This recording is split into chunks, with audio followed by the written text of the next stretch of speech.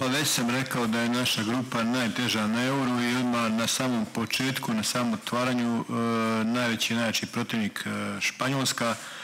Igrali smo s njima zadnje dvije utakmice u Ligi nacija i, i na Europskom prvenstvu. Na euru smo izgubili prošlu utakmicu 5-3 nakon dobre utakmice, teške borbe u, u. Na, u Ligi nacija smo izgubili na penale. Ta utakmica nam daje jedan motiv i jednu jednu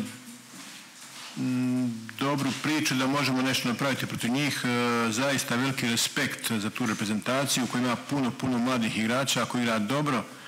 E, Luka Molić ih poznaje jako dobro, igra u Španjolskoj ligi, osvojuje sa Realom Ligu šampiona, dakle pokazuje ta i klubska sezona koliko je ta reprezentacija jaka, kvalitetna. E, očekujemo tešku, tešku utakmicu važnu i nadam se da ćemo mi tamo napraviti dobar rezultat. E, za nas e, će to biti velika utakmica, nadam se da je nećemo izgubiti i bitno je da na euro ili na svjetskom prvenstvu startaš bez poraza.